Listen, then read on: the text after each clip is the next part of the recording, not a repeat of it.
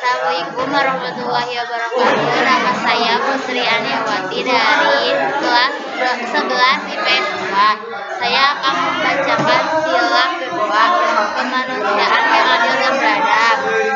Mengakui persamaan derajat, hak dan kewajiban antara semua manusia. Sekian dan terima kasih. Wassalamualaikum warahmatullahi wabarakatuh.